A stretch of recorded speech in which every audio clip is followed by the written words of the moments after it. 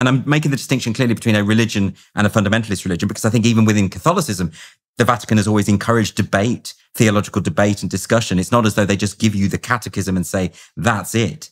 Um, there's there's all these kinds of discussions and debates and nuances being teased out in theological thoughts. Theologians for centuries have, have, have done that.